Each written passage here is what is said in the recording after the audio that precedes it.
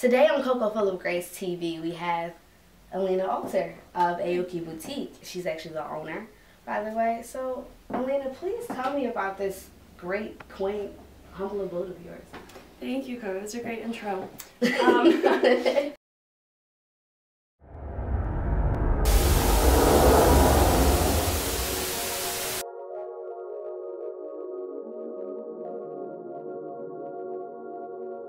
is Aoki Boutique. Um, it's been open since April, so about eight months now. It's, um, it's a women's lifestyle boutique, so I have everything from clothes to jewelry, accessories, home goods. Um, I just kind of wanted to like create a space for women to come and you know explore different sides of their style and of their like personal aesthetic and kind of find things that can fit organically into their life and into their taken on a life of its own and been a really cool project for me. That's great. So, starting out, what was your original vision? Like, was it just this, or did you plan on branching out? Did you even imagine that this would even happen for you? I didn't really imagine it. It started with me wanting to be self-employed and wanting like my own space and wanting like a women-centered business, but not necessarily a boutique. That kind of like is just the shape that it took. I think the best part about this place is that it's in Philadelphia. Mm-hmm. And I think people don't really look at Philadelphia as being one of those, you know, fashion, you know, incorporated places Yeah. or, you know, the fashion connoisseurs live here. But it's interesting because since I've met you and so many others, you, there's this whole world of fashion that's been opened up to just both men and women. Mhm. And I think that's great and that's perfect. So, what inspired you to actually use this location? I mean, it's in Rittenhouse Square in Philadelphia, which is definitely the spot where a lot of the, uh, you know, you see the, the fashion, Yeah. you know, connoisseurs just walking around and walking about. So, Definitely. why this place for you? Well, I grew up in Philadelphia, so Mhm. it has kind of, you know, a special place in my heart, obviously. And like you said, it's not really thought to be this like fashion mecca, but there's no reason that it can't be. It's like you said, like in opening this, I've become connected to so many other young entrepreneurs that I didn't know were in this city and other like fashionistas and people that have, you know, blogs and clothing brands and things like that. So it's like if you build it, they will come kind of thing. You know what I mean? Right, it was like when. I started doing it, it was like I wasn't as much of a pioneer as I thought, you know what I mean? It was kind of like humbling. I was like, wow, there are all these people that are already doing this. So it was very cool to kind of join that um, like small business community and that like entrepreneurial community. Um, I guess this is a good place to start. This board features some jewelry made by a local artist named Heidi Roland, and she does really beautiful feather and gold and leather work. Um, I have about four or five local vendors at the moment, and the rest are kind of from all over the place. But when possible, of course, I try and seek out and support local artists. So I'll go to like the punk rock flea market and things like that, and just kind of keep an eye out for who's doing cool stuff in the city and what I can maybe source from. Um, I don't want to be exclusively local because I feel like that's really limiting, and um, there are other kind of forums for that, and I feel like it's important to get Philly artists in the same space as you know New York people and people from even abroad to kind of make the local scene a little more scalable and a little more like global. Um, but she's one of my favorite local artists currently, so I'm really thrilled to be featuring some of her stuff. And um, yeah, we can just continue through the space, I guess. I wanted to point out this artwork, which is done by um, a local artist, a Penn student. The artwork is one way that I've been able to kind of utilize the space um, in ways other than just a boutique, so making it more of like a multi-purpose space.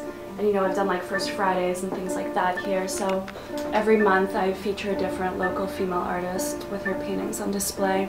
So it's another way for me to support, you know, local entrepreneurs and female entrepreneurs and kind of the local art scene a little bit. Um, so in addition to merchandise that I'm selling, it's kind of just showcasing, you know, what's going on in, in other capacities in the city right now. It's less about like how much stuff I can sell to people in here and more about like creating an experience for them and creating like an environment for them. So um, it's been a really like fulfilling kind of thing for me.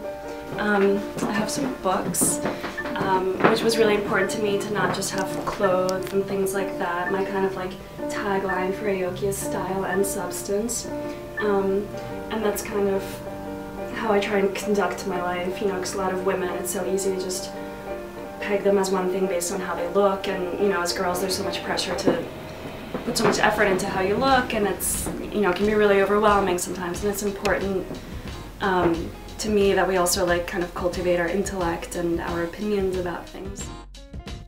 As you could probably tell. Um, and that's really how I buy for, you know, the store in general, is like I kind of buy with a um, eye for my personal taste and hope it kind of translates, which is why I don't carry like denim here really, because I don't really wear jeans myself. And, you know, it's, I just kind of buy things that I personally would wear and hope that you know, there's a scale scalability factor in that for other people too.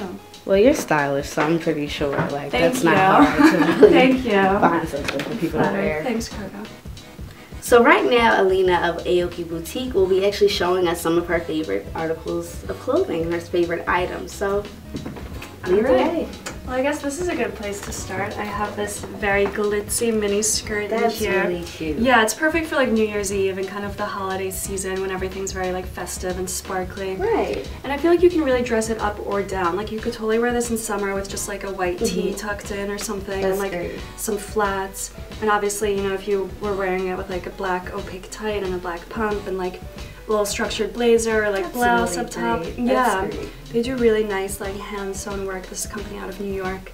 So I really like this. I think it's really sweet. It's itty bitty, of course, so I would definitely balance it out, Right, not show right. too much skin. Right. Um, so how much do you think this would be if somebody was interested in actually purchasing it? This one's actually $104, so it's actually towards the higher end of my price range here in terms of what I carry. The greatest part about this store is that not only is it high end, there are other inexpensive things that are also high end. And Alina's actually going to show us some of those items. Pinstripe blazer. It's cropped a little bit and it has three-quarter sleeves.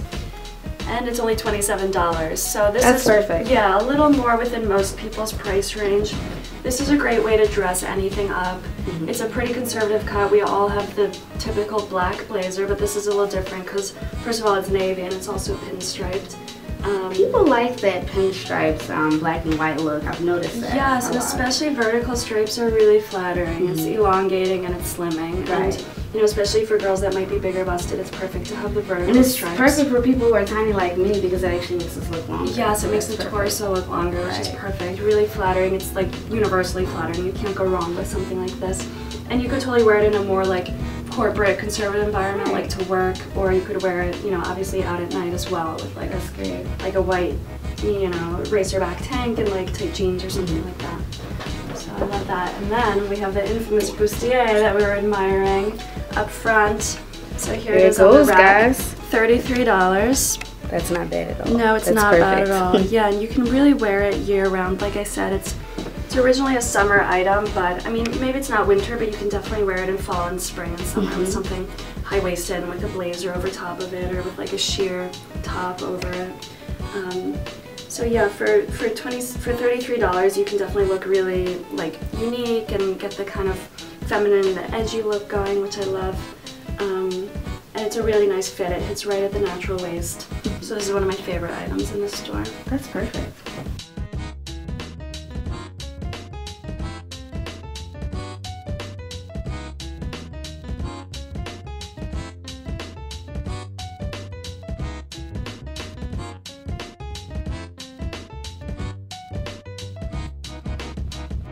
Well, today Coco Full of Grace was in Aoki Boutique, and we saw a lot of great and amazing things from the owner, Alina Alter. So thank you so much for allowing um, Elite Black Sheep and CocoFullOfGrace.com to actually do this as a collaborative I'm with you. So thank you. Of this is a great place. And guys, please come through to this great place, as I call it, the humble abode of Alina. so that's you. just perfect. And would you like to tell them where it is? Yes, it's on uh, 22nd Street between Chestnut and Sansom. The address is 115 South 22nd Street. And I'm open every day except Monday. and I'll look forward to seeing you here. I'm always here, so looking forward to meeting each and every one of you.